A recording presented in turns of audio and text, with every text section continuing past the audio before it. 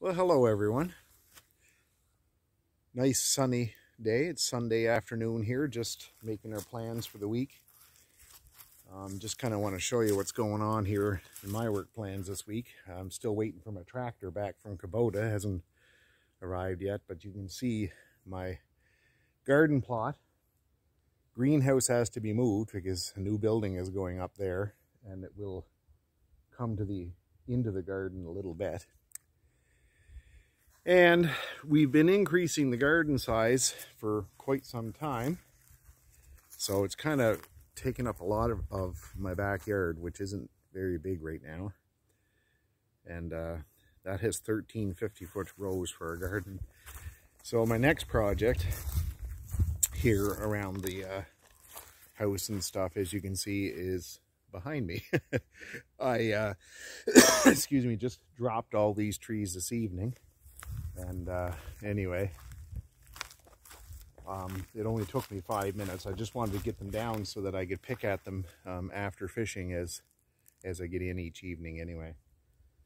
I uh, cut down about seven spruce and four birch trees here. So that'll give us a little bit of firewood and I also will have um, a couple sticks of lumber for the sawmill of there anyway. And, uh, and I hope when the tractor gets back to stump this area here um, behind me. Um, those stumps have been there for 20 years since I since I cleared that spot shortly after I built the house. Um, I cut them down about two years after I built the house, I think, anyway. So, so that's kind of what I'm up to, and uh, just kind of debating. Um, some of these stumps are are kind of big, you know. Um, they're older, I'm just not sure if my grapple root rake will uh, be able to dig them out well enough or even if the bucket will. I'm just, I really don't want to have to spend money for uh, uh, a tree rooting implement. It's just, you know, it's got a sharp pointy nose that cuts the roots and digs underneath them. They're not overly expensive, but they're like a thousand bucks though. And uh, $300 shipping or so to get it to me here from Ontario. I don't I don't know if I could get one local.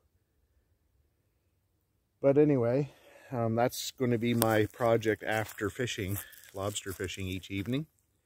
So uh, as if we don't have a long enough day, but I figured if these trees were down, I could come out and block a little bit up and the boys are, we'll haul the firewood over to the workshop anyway. So that's the plan where you can see where I'm relocating from there. And this was woods. I kind of cleared this out the last few years. Uh, about, about five trees died here last year. I had to clean out of here anyway. They came down in a, well, they didn't come down in a storm. They just all died. All five of them uh, at the same time one spring. They didn't sprout, or they just turned brown.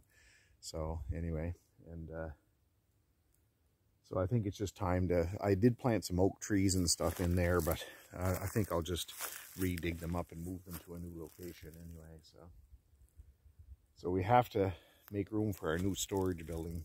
And uh, um, when you have a fishing business and stuff, you know, uh, I don't have my own shop. I'm still using Dad's from when he retired, but it's on his property. So, you know, if he ever sells a house, I need a building anyway. So it's to the point where, where even with what building he has, it, it just it just doesn't hold everything.